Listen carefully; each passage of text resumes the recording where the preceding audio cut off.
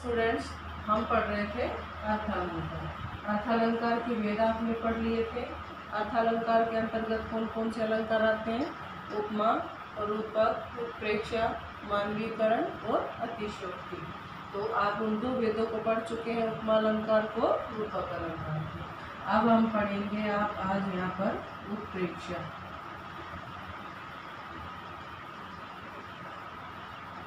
उत्प्रेक्ष अलंकार में क्या होता है? जहाँ उपमे में ही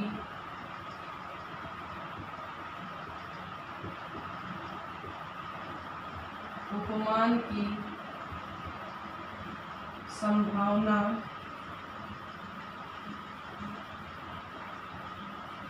या कल्पना कर ली जाती है।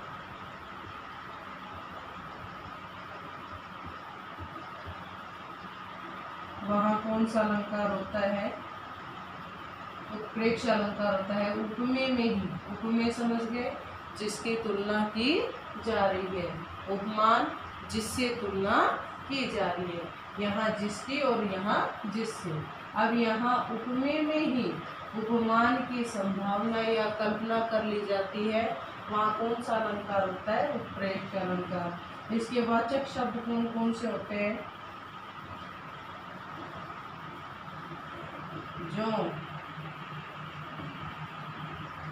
जिमी,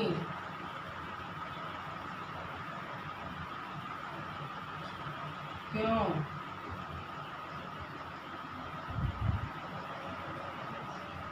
मानो। मनु। जनू। ये सारे जानहू। ये सारे क्या हैं इसके? वाचक शब्द हैं। आदि आप इनके क्या है? वाचक शब्द हैं। उदाहरण देखिए हम।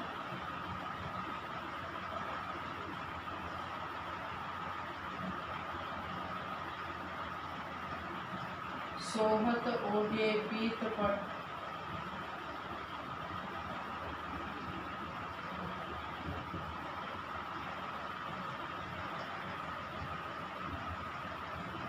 श्याम सलोने का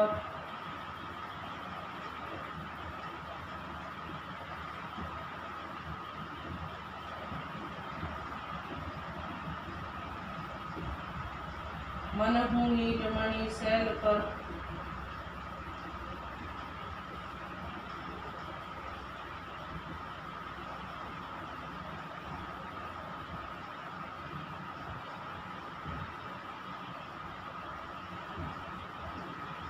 प्रभाव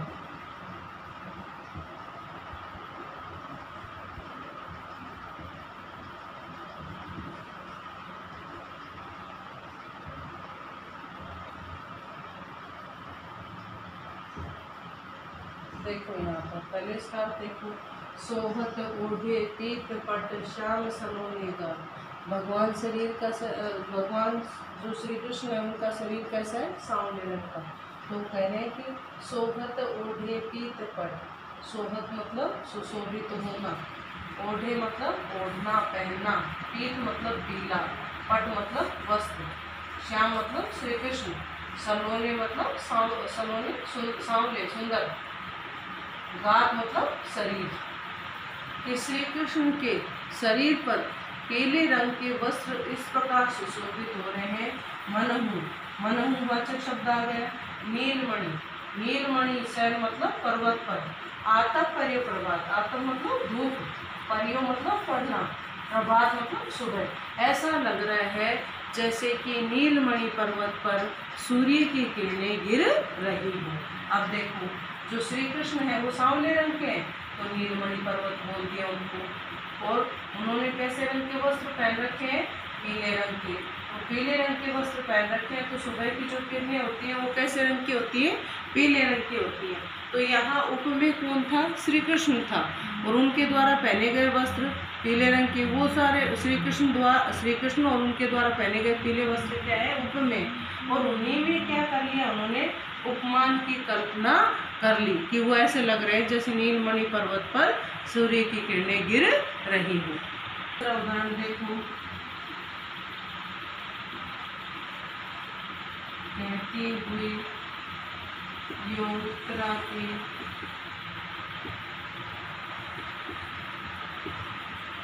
नेत्र जल से भर गए।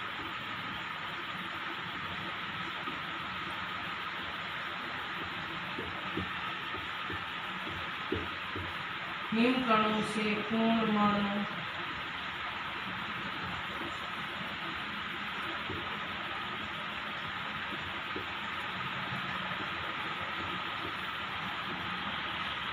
हो गए पंकज में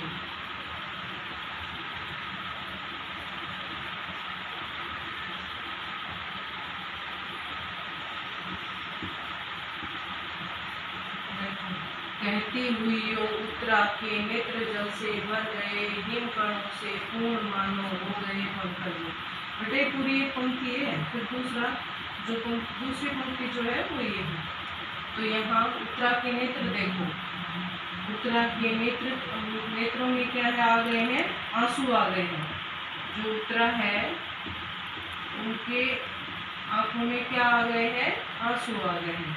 और जो हिम कणों से पूर्ण मानो हो गए पंकज में उत्तरा की आँखों में आए हुए जो आँसू है, वो ऐसे लग रहे हैं जैसे कि जो कमल है, कमल के ऊपर हिमकण, हिम मतलब ओस ओस की बूंदे गिर रही हो।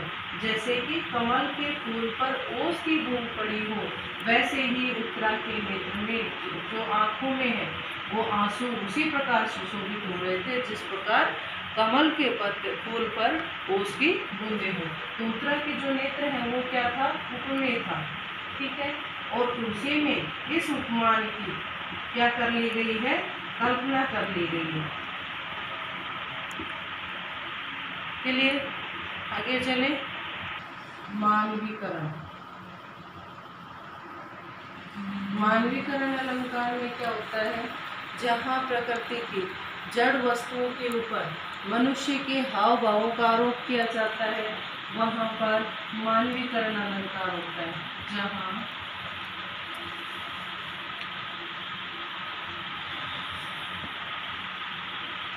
प्रकृति की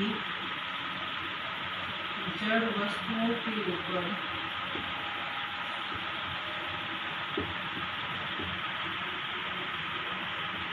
मनुष्य के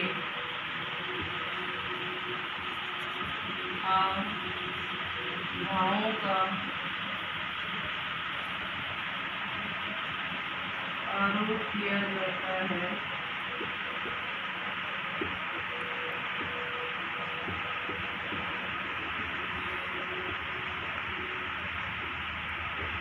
वहाँ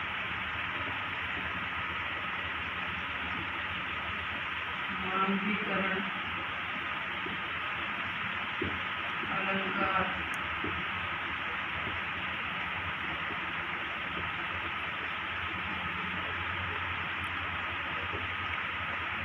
महामानीकरण अलंकार होता है, जैसे। अब आप पहले तो इस डेफिनेशन को देखो, जहाँ प्रकृति के जड़ वस्तुओं के ऊपर, मनुष्य के हाव भावों का वही प्रकृति है, उस पर मनुष्य के अंगों का, उसके हाव भाव का, उसके चाल चलन का जो आरोप किया जाता है या उसको मनुष्य का रूप दे दिया जाता है, वहाँ पर कौन सा अलंकार होता है? मानवीकरण अलंकार होता है, जैसे देखें।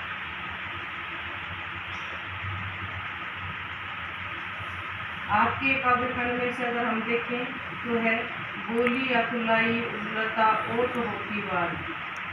गोली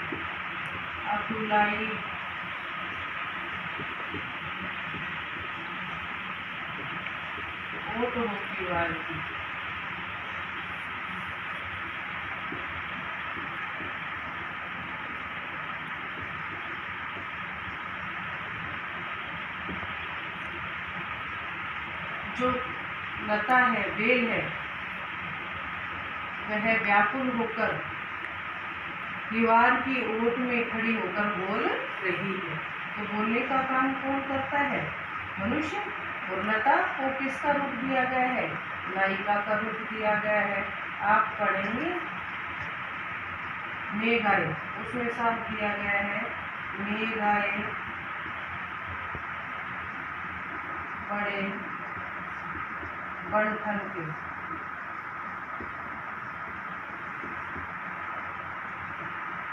जो मेघ है, बादल है, वे बड़े ही सज संवर कर आए पाहुन जो आए हो, गाँव में शहर पाहुन पाहुन जो आए हो, गाँव में शहर ऐसा लग रहा है जैसे गाँव में कोई, शहर का मेहमान आ गए हो। तो बादलों पर किसका? आने वाले मेहमान का आरोप किया गया। तो यहाँ पर कौन सा अलंकार है? मानवीकरण अलंकार है। और उदाहरण हम देखें तो आप पढ़ेंगे काव्यखंड में चंद्र गहना से लोग की बेट तो उसमें भी है, एक बीते के बराबर यह हरा टिकना चला बीते के बराबर। यह हरा टिकना चना। बांधे मुरेठा शीश पर छोटे गुलाबी फूल का सजकर खड़ा है। ये जो चने का पौधा है, वह अपने सिर पर उसको दूल्हे का रूप दिया गया है और वह अपने सिर पर गुलाबी रंग के साफा बांधकर, सज दज कर तैयार होकर खड़ा है। उसी तरह वहाँ पर अलसी का रूप दिया गया है। और खूब सारे उदाहरण हैं। बीती विभावरी जागरी अंबर पर घट में डुबो रही तारा उसाना है। कि बीती विभावरी विभावरी किसका पर्यायवाची है? रात का। कि रात क्या हो चुकी है? बीत चुकी है। बीती विभावरी जागरी अंबर पन घट में अंबर रूपी पन घट में ताराओं रूपी घड़े को, जो प्रातःकालीन नायिका है, वह अंबर रूपी पन घट में ताराओं रूपी घड़े को क्या कर रही है? डुबो रही। है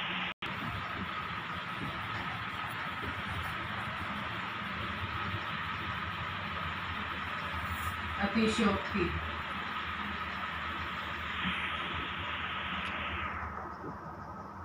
अगर हम इसको तोड़ें तो क्या बनेगा?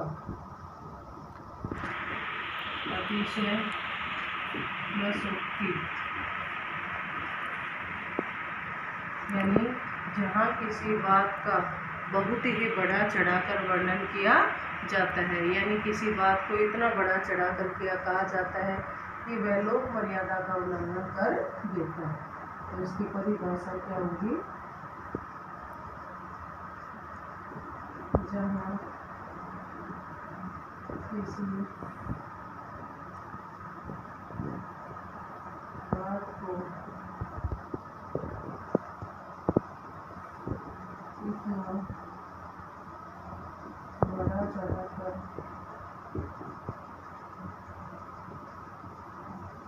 बताया जाता है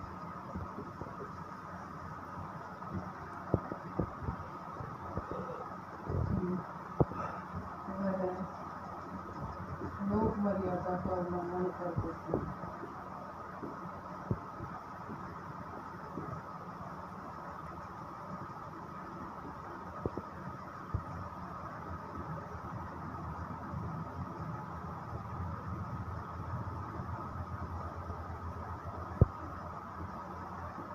हैं किसी बात को इतना बड़ा चढ़ा दिया जाता है कि लोग देती है। यानी किसी के बारे में बहुत बड़ी, बड़ा चढ़ा कर बातें कहना क्या कहलाता है? अतिशोक्ति अलंकार कहलाता है। देखो उदाहरण। आपने महाराणा प्रताप की कविता पढ़ी होगी।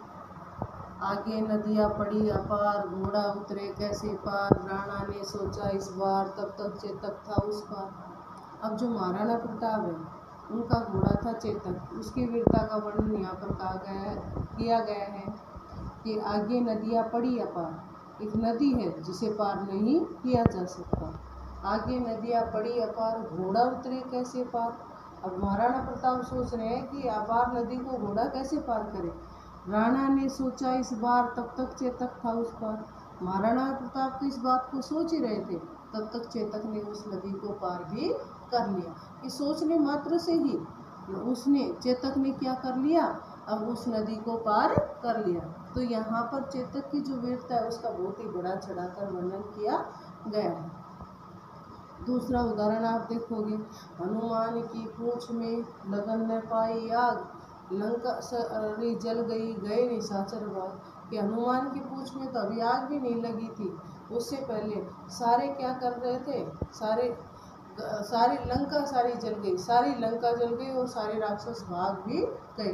ये एक उधर तो हनुमान की पूछ में आग लग भी नहीं पाई थी, उससे पहले इतनी बड़ी घटना हो गई। तो यहाँ पर उस चीज़ का भी बहुत बड़ा चढ़ाकर वर्णन किया है। अब देखो, एक उदाहरण, छोटा उदाहरण आप यहाँ लिख लो। इतना रोया था मैं उस दिन।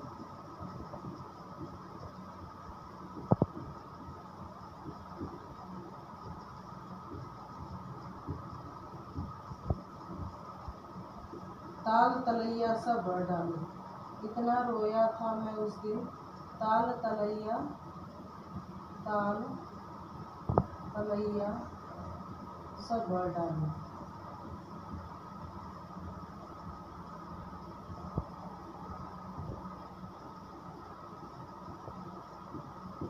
अब देखो, रोने से कभी आँसू से ऐसा हो सकता है? ये ताल तलैया सब भर डाले कि जितने भी तालाब हों, छोटी तलैया वो सब भर जाए। तो यहाँ पर भी बहुत ही उस चीज़ का बड़ा चढ़ाकर वर्णन किया गया। दूसरा उदाहरण हम देखें। आपने देखा होगा कि जो श्री कृष्ण के मित्र थे सुदामा, वो श्री कृष्ण से मिलने के लिए जाते हैं। और श्री कृष्ण को जब अपने परम मित्र के आने की सूचना मिलती है तो वे बहुत अधिक अधीर हो जाते हैं और दौड़े हुए क्या करते हैं? सुदामा के पास आते हैं। अब उनकी जब आदर सत्कार किया जाता है तो उसके बाद कही गई है। देखी सुदामा की दीन दशा, करुणा करके करुणा निधि रोए। पानी परात को हाथ छुओ नहीं, नैनन के जल से पढ़ो। कि करुणा, सुदामा की दीन दशा को देखकर जो करुणा निधि हैं, अर्थात श्री कृष्ण हैं वह रोने लगते हैं और उसके पैर पूछने के लिए जो उसका सत्कार करने के लिए जो परात में पानी था, उसको तो हाथ भी नहीं लगाया और नेत्रों के जल से, आंसुओं से ही क्या किया उन्होंने? उनके पैरों को धो दिया। तो यहाँ पर भी उनका बहुत अधिक बड़ा चढ़ाकर वर्णन किया गया है। तो एक उदाहरण और लिख लेते हम।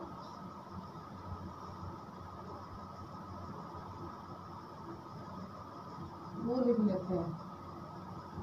देखिए सुदामा की।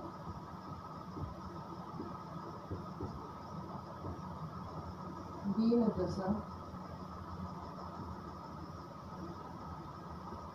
करुणा करके करुणा निधि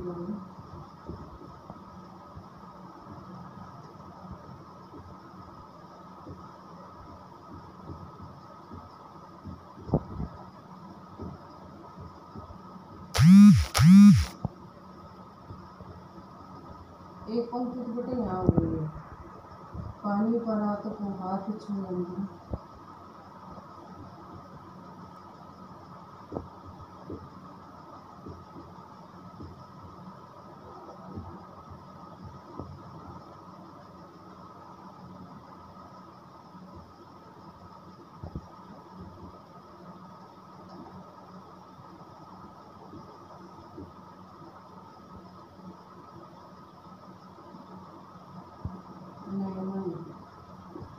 जल से पग धोए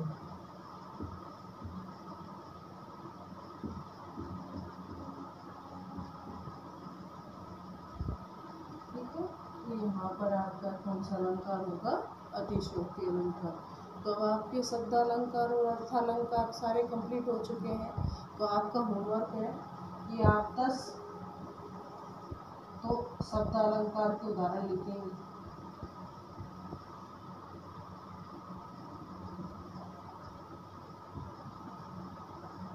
दस लिखेंगे अर्थालंकार